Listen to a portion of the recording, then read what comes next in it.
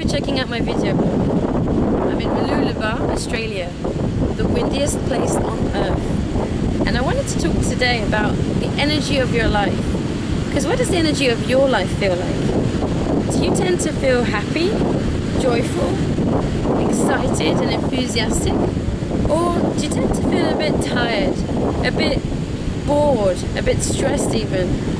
I hope not, but if you do feel more like the latter, then what if that could change?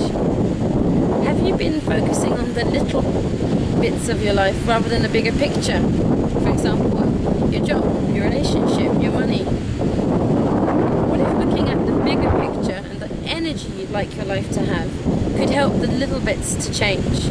I know that for myself, for a long time, I thought that if I had the perfect job, then I would finally be happy. And I did everything I could to find that. And even once I was doing something that I loved and that was changing the world in my view, I still wasn't happy. I was Still not what I wanted to be. And once I started to become more aware of the energy of my life and what energy I would like my life to have, then things started to change so that I could have that energy. So what would that be for you? What energy would you like your life to have?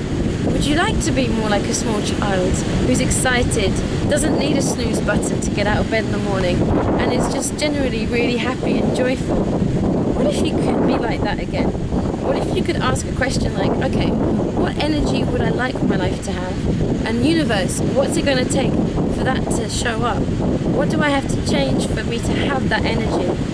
Because what if anything is possible? What if you really can have anything that you would like to have as the energy of your life?